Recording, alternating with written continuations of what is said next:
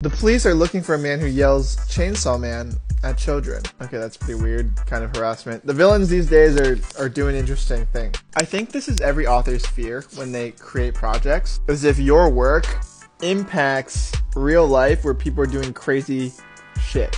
Because I think it's pretty easy for creators, like if Fujimoto were to think like, oh, this was kind of like indirectly my fault. Like I didn't make this guy crazy, but he's using my work something I created, Chainsaw Man, to be crazy. Not a good mentality, obviously, but uh, you know, authors go through that.